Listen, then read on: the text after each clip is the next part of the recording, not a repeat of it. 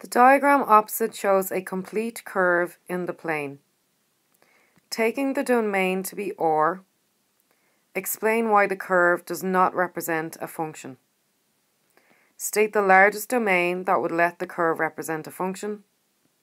With this domain, state the range of the function. So this is a complete curve, which means it doesn't go on forever. So it's literally what we see on the plane. So taking the domain to be R, the real number set. So basically we can sub in x values of any number in the real number set. We need to explain why this curve does not represent a function.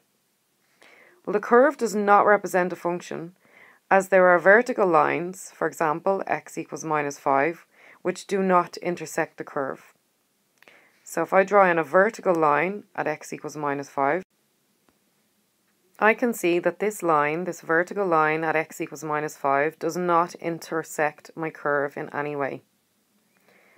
So therefore, this cannot be a function. Because in part 1, the domain is R, which is the real number set, which means any x values, positive or negative, fractions or decimal. Real number set is all numbers on the real number line. So question two, state the largest domain that would let the curve represent a function. Well, if we restrict the domain to the interval from minus 4 to 4, so if we let our x values go from minus 4 to 4, written like this, so it's square brackets, minus 4 comma 4 comma, then the curve represents a function.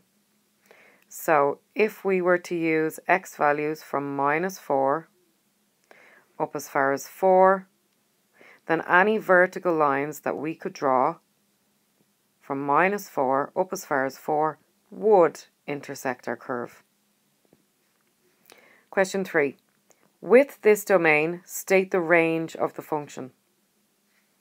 Then the range is 0, 16, i.e the interval from the lowest value on the y-axis to the highest value on the y-axis. So 0 all the way up as far as 16. That is the range from 0 to 16. So we need to learn off that domain represents x values or inputs into a function and range represents y values or outputs of a function. So it's important that we learn this off by heart.